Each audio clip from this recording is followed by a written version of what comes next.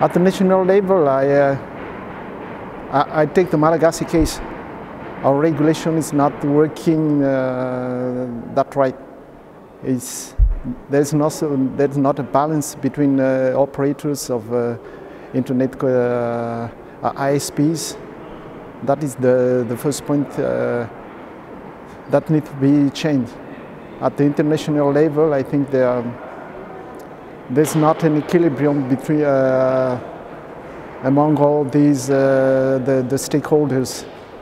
There's a, a, great pressure from great countries, great companies, and uh, all the others are are following the the movement.